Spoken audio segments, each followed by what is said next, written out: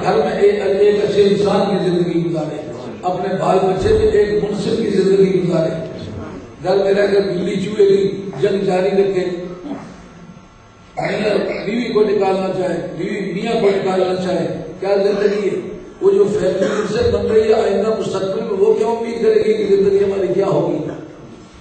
تو احرام باندھنے سے پہلے اپنی زندگی کو اس بارے میں اچھی طرح سے سنجیدگی سے سوچ لے کہ میری روزانہ کی زندگی کیا ہے۔ اور یہ شعور کہ انسان کو آئزوں والی شکل بنانی چاہیے، اسلام سے پہلے بھی یہ بات تھی۔ یہ جو چلتے چلتے ایک وقت وہ آیا کہ مکہ شریف میں حج کرنے والے لوگ مرد بھی اور عورتیں بھی کپڑے اتار کے ننگے ہو کے طواف کرتے رہے۔ یہ ان کی جہالت تھی۔ کہ نبی کی رہنمائی حاصل نہ کی جائے تو جتنی عبادات ہوتی وہ ساری عبادت چلی جاتی ہیں۔ علم عقیدہ کے اندر ایک مسئلہ مشہور مشہور ہے کہ فلسفہ اشراقیہ اور فلسفہ شائیہ ایک وہ فلسفہ ہے جو خدا کی تلاش کرتے ہیں۔ اور خدا کی تلاش کرنے میں وہ علم اور عرفان کو استعمال کرتے ہیں لیکن اپنے علم اور عرفان کے اندر وہ آسمانی وہی کو نہیں استعمال کرتے۔ ان میں یہ ارستو، یہ بڑے بڑے اور جیسے جالی دوس اور مکرات سکرات یہ سارے لوگ اس طبقے کے ذریعے ہیں۔ یہ دلائل اور مسائل کے ذریعے سے، ثبوت کے ذریعے سے کتابی والا جات کے ذریعے سے جستجو کرتے رہے۔ مگر ان کی جستجوؤں میں نبی کی وہی کی رہنمائی نہیں ہوتی۔ گیا دنیا بھر میں کتنے بڑے بڑے یہ پوزیشن کتنے کتنے بڑے ٹرانسفر گزرے ہیں۔ اس کا مطلب کتنا بھی کوئی بڑا ہو نبی کی رہنمائی نہ ملے تو وہ برا ہی بہت بڑھ گیا ہو۔ مجھے کسی کی حاجت نہیں۔ فلسفہ مشاہیہ کا مطالعہ کرے فلاسفی اس کو کہتے ہیں۔ دوسرا کی فلسفیز ہیں ایلومینیٹنگ فلسفی پریمیٹیو فلسفی یہ پریمیٹیو فلسفی ہے کہ وہ دلائل اور مسائل کے ذریعے سے کی تلاش کرتے کہ جن کے نام لیے اپنے زمانے میں یہ فادر مانے جاتے بانی مانے جاتے فلسفے کے۔ لیکن ہے گمراہ کیوں؟ کہ ان کے فلسفے کی رہنمائی کے لیے نبی کی امامت نہیں تھی نبی کی قیادت نہیں تھی نبی کی پیشوائی شامل نہیں تھی۔ جس سے نتیجہ یہ نکلتا ہے کوئی کتنا بھی پڑا ہوا ہے بیرسٹیٹ اسے کیا ہوا ہے ڈاکٹریٹ اسے کیا ہے ایل ایل ڈی اسے کیا ہے اور وہ سائنس کی بڑی سے بڑی اسے ڈگری لی ہے وہ بڑا فزسسٹ بن گیا ہوا ہے۔ کتنا سائنٹسٹ بن گیا ہے اس کو پتا ہونا چاہیے کہ میری سائنس کے جتنے بھی دائرے ہیں وہ نبی پاک کے علوم کے اندر اندر ہیں۔ آج فزکس کے جو ایلیمنٹس مانے جاتے ہیں وہ بعد میں مانے جاتے ہیں۔ اور نبی پاک علیہ السلام السلام کے اس میں گرامی کے عدد بعد میں ہیں۔ حضرت کے فلسفہ نے یہ تسلیم کیا ہے وہ جس کے نام کے عدد بعد میں ہے نا دراصل فزکس جتنی ہے نا یہ ساری اس کے ایک ایک عدد کے دائرے میں ہے کس کائنات میں امتیاز حاصل کرنا چاہے جب تک اس بانوے والے کے اس نام کا استعمال نہ کرے وہ اصل زندگی میں نہیں پہنچتا۔ نعرہ تکبیر۔ نعرہ رسالت نعرہ حیدری کہا جا سکتا ہے کہ سرکار کے وسیلے کے بغیر لوگوں نے بم بنائے ہیں۔ تو یار انسانوں کو تباہ کرنے کا بندوبست کیا نا انسانوں کو آباد کرنے کا بندوبست نہیں کیا نبی کی رہنمائی اس میں ہوتی تو دفاع بھی ہوتا اور انسانوں کی تعمیر کا کام ایسا بھی کوئی بتاؤ۔ محبوب انڈیا کی ذات مدینہ طیبہ کی کھجوروں کے نیچے بیٹھ کے عورتوں کے حقوق دلائے۔ بچوں کے حقوق دلائے، وراثت کی تقسیم فرمائی، حق و باطل کا فیصلہ کیا، نظام عدل قائم کیا، حقوق کا فیصلہ کیا، جس کو صلی اللہ کہتے ہیں، اس کو شہادت الحقوق، اس ایل ایل بی کو کہتے ہیں شہادت الحقوق عربی زبان میں۔ ایل ایل بی کو ایل ایل بی عربی میں نہیں کہتے، شہادت الحقوق، کہ اصل اس کا موضوع انسانوں کے حقوق پہچاننا اس اکیلے آدمی نے پوری دنیا کے نظام کو سسٹمٹائز کیا، اس کی رہنمائی تو ارستوں کو بھی چاہیے تھی۔ اس کی رہنمائی تو سکرات کو بھی چاہیے تھی۔ اس کی رہنمائی تو بکرات کو بھی چاہیے تھی۔ اس کی رہنمائی تو جالیدوس کو بھی چاہیے تھی۔ اور دوسرا فلسفہ ہے ایلیومینیٹنگ فلسفی فلسفہ اشراقیہ۔ فلسفہ اشراقیہ کی بنیاد یہ ہے کہ ان لوگوں نے ایسا کیا ہے کہ مشقت کے ذریعے سے عبادات کے ذریعے سے ریاضات کے ذریعے سے چلا کشی کے ذریعے سے رب کی تلاش کی ہے۔ لیکن ان کی اس محنت و مشقت مجاہدت اور ریاضت میں کسی آسمانی بئی کا دخل نہیں تھا کسی نبی کی رہنمائی نہیں تھی۔ اس لیے فلسفہ اشراقیہ والے بھی گمراہ ہوئے اور فلسفہ مشاہیہ والے بھی گمراہ ہوئے۔ اس کے مقابلے میں ہمارے علماء عقائد آئے۔ انہوں نے دلائل کے ذریعے سے رب کو تلاش کیا لیکن نبی کی رہنمائی میں کیا جی وہ گمراہ نہیں ہوئے۔ عبادت کے ذریعے سے رب کو تلاش کیا۔ مگر ان کی عبادت ان کے مجاہدات میں نبی کی وہی رہنما تھی۔ اس لیے وہ بھی اپنی اصل منزل مقصود کو پہنچے۔ آج اگر آپ دنیا میں کوئی ایک بندہ تلاش کریں کہ ارسطو کی قبر کی زیارت کرنے گیا ہوا ہے جو کچھ اس نے پڑھا تھا وہ مرنے کے بعد زندہ رکھنے کے لیے کافی نہیں تھا۔ آپ کافروں کے قافلے دیکھیں گے۔ لوگ والی بغداد کی بارگاہ میں زیادہ نہیں جا رہے ہیں۔ کوشش انہوں نے بھی کی ہے؟ کوشش انہوں نے بھی کی ہے؟ کوشش کی رہنمائی میں نبیوں کی وہی بھی تھی۔ حضرت والی بغداد کی رہنمائی میں نبیوں کی وہی تھی۔ اس لیے مرنے کے بعد بھی زندہ رہے۔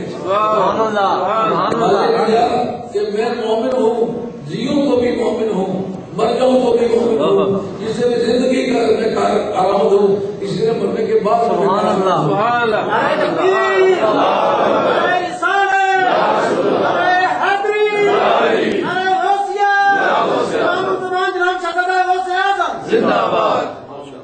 تو وہ پوری دنیا کے فلسفہ مشاہیہ کرو اور اشراقیہ کرو جنہوں نے دلائل کے ذریعے سے رب کو تلاش کرنا چاہا یا جنہوں نے مجاہدات اور ریاضات اور عبادات کے ذریعے سے کرنا چاہا وہ سارے گنا ہوئے ان میں سے آپ کسی کی قبر جانتے ہو تو اس قبر پر جان کے لوگ لوگ جاتے ہو لیکن یہ جو ہمارے لوگ ہیں خواجہ پاس کے مزار پر جاؤ پتہ چل رہا ہے حاجیوں کے کام میں۔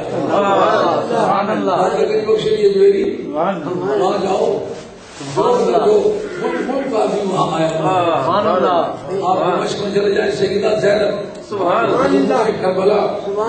جس کا کوئی والی وارث نہیں رہا تھا اور ٹوٹے ہوئے قافلے کی طرح ہمارے ساتھی اس کے پر جاؤ آدمی سمجھتا ہے کہ میں حج بنایا ہوا ہوں ظاہرین حج ہے جنہوں نے بادشاہیاں کی ہیں یزید کی قبر ہے وہاں تو جو زیارت کرنے جاؤ تو سب کہتے ہیں اس کی قبر پر پاؤں رکھو اور جو پاؤں رکھتے ہیں وہ بدلوں جلتا جلتا رہتا ہے۔ اور لوگ پتھر مارتے ہیں جانے والوں کو۔ لیکن سیدہ زینب کے مزار پر روکنے والا روکے، روکنے والا ہے ہی نہیں۔ اس مقصد یہ ہے کہ جنہوں نے حضور کی رہنمائی میں رب کو تلاش کیا، وہ زندہ بھی زندہ ہے قبر میں بھی زندہ ہے۔ باقی شہر کے گردا ننگا ننگے ہو کر کے تباہ کرتے تھے، اس سے ایک شعور ملتا ہے۔ وہ سمجھتے تھے کہ آدمی کو مسکینوں والی صورت بنانی چاہیے۔ اور اللہ کی بارگاہ میں آجانہ طور پر پیش ہونا چاہیے۔ ایک سلاط کن فی یقوم ہے۔ حضرت خواجہ غریب نواز سلطان ہند سرکار رحمۃ اللہ کے سلسلہ تعلیم سلسلہ عالیہ چشتیہ۔ ہے اور اس کا ذکر نہ صرف ہماری کتابوں نے کیا ہے، بلکہ نواب سے ذکر صاحب کنجوجی نے، جو عالیہ حدیث میں تھے، بڑے چوٹی کے آدمی ہیں۔ انہوں نے اپنی کتاب کتاب التاویزات کے لکھا کہ میرے والد صاحب تعویل فرمایا کرتے تھے بخاری سید تھے اور نقشبندی سلسلے کے آدمی تھے اور یہ ان کے معمولات ہیں اور یہ کرنے چاہیے اس میں خواجہ کریم نواز رحمۃ اللہ تعالیٰ نے ایک کے بعد ایک سلسلہ تعلیمات ہے۔ منگل گرو چوراسی گرو کی جاتی ہے۔ اور اس میں وہ نبی پڑھنے کا خاص طریقہ ہے۔ اس کے بعد چند کلمات پڑھنے لیکن پڑھنے کسی نے آشری کو اتار کے اس نے اپنی گردوں پر ڈالے اور پھر اس کے نیچے سے اخبار نکالا دعا کریں کے پچاس مرتبہ دعا کریں یہ کیوں بھائی؟ کا یہ جو بھیک مانگنے والے لوگ ہوتے ہیں اکثر اپنا بھالو نگا کر لیتے ہیں۔ تو اس کو بھالو نگا کر لیتے تیری ادا پر قربان۔ ایسا عظیم انسان ہے۔ نبے لاکھ کافروں جس کے کے حق پرس پر کلمہ پڑا ہے؟ اور ہندو جیسی مدرسے قوم آپ دیکھتے نہیں کہ کیسے وہ مدرسے میں اردو بھی اپنے اسکولوں کالجوں میں ختم کر دیے، صرف اس دن سے کہ اردو جو ہے یہ مسلمانوں کے فتوحات کے جھنڈوں کے ساتھ آئی تھی۔ اردو مسلمانوں کے اہل اقبال کی یادگار ہے۔ تو مسلمانوں کی کوئی چیز جو ان کی عزت کی نشانی اس کو مٹانا چاہیے۔ ایسی مدرسے تو نبے لاکھ آدمی یہ خواجہ غریب نواز کی نگاہ بندہ نواز کا فیضان ہے۔ سبحان اللہ۔ تو وہ کہتے ہیں کہ بکاریوں والی شکل بنائے۔ اپنی قمیض اتار کے ایک بازو پہنے رہے دوسرا بازو نکال لیں اور وہ بازو جو ہے وہ اپنے گر- گردن میں ڈال لیں اور اس طرح ہاتھ اٹھا کر پچاس وقت مانگو۔ سبحان اللہ سبحان اللہ۔ اس کو کہتے ہیں سلاتے کن فیقو سبحان اللہ۔ اس کا میں نے متعدد تجربہ کیا ہے۔ اللہ تعالیٰ مہربانی فرماتے ہیں۔ سبحان اللہ۔ سبحان اللہ۔ صحیح ہے۔ معلوم ہے کہ آدمی کو دعا کی حالت حاصل کرنے کے لیے اپنی شکل آجزانہ بنانی چاہیے لیکن اگر اس سے پہلے اس کا کانٹیکس اس کی آجزی کو ظاہر نہ کرتا ہو تو یہ فریب بنے گا۔ تو کفار مکہ اور گرد و کے جو کفار تھے حج کے موقع پر سارے کپڑے اتارتے تھے لیکن اس کی ابتدا اسی طرح ہوئی تھی کہ آجزوں والی شکل بناؤ۔ پھر اس میں نئے نئے آئیڈیے شامل ہوتے رہے۔ وہ یہ بھی شامل کر لیا۔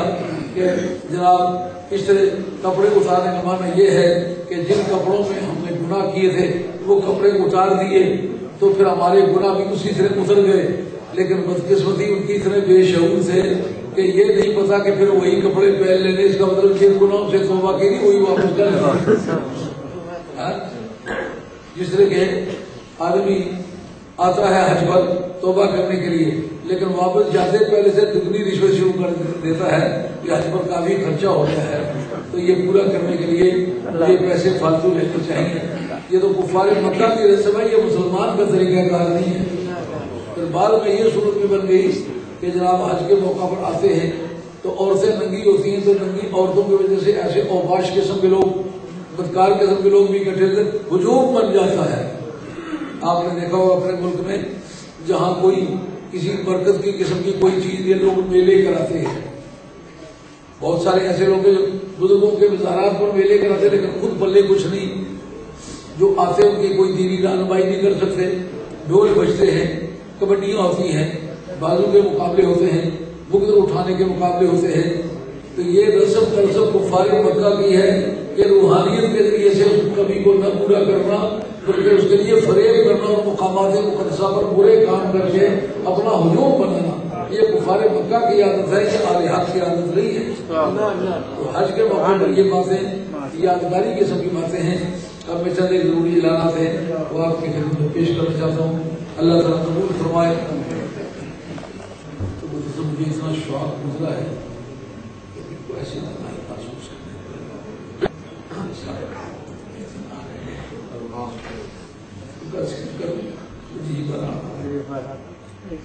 علامہ ہزاروی رحمۃ اللہ کا انتقال ہوا بابو جی صاحب رحمۃ اللہ علیہ سجادہ رشید پروار کے مرشی مولوی رحمۃ اللہ کے اکلوتے بیٹے وہ فرماتے ہیں سبھی دعا کرو ہمارا دوستوں کا موت کی دعا کو نہیں مانا ہے۔ آپ ہمارے یار میرے ساتھ اس کے کئی لاکھ مرید ہیں اور خربوں روپے کی تعداد ہے۔ اللہ نے ہر طرح کی سہولت کی ہے وہ اپنی خدائی تنہائی سے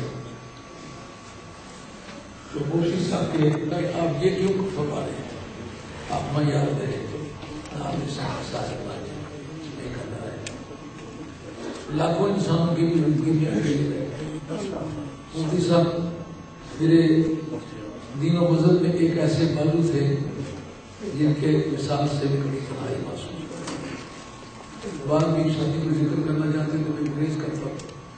تو ان کا ذکر کرتا ہوں جی بھر آتا ہے۔ پوری طرح سے تنہائی محسوس اللہ تعالیٰ مفتی صاحب کی کرتے ہیں گزار میرے تمام دین پر میں اتنی کی توفیق تھی وہ سب آسو توفیق کی اگر چلا کرتے تھے۔ وہ سب کے بچوں کو صرف موتی صاحب ان لوگوں کو نظر نہیں آتے، لیکن حالات و واقعات میں بتلائیں کہ مفتی صاحب دیتا ہے یہ ایک دوستی کا پرنسپل ہے کہ جن کے ساتھ محبت کا تعلق ہے، ان کے احساس موت ان کے خاندان تک نہیں پہنچ سکتے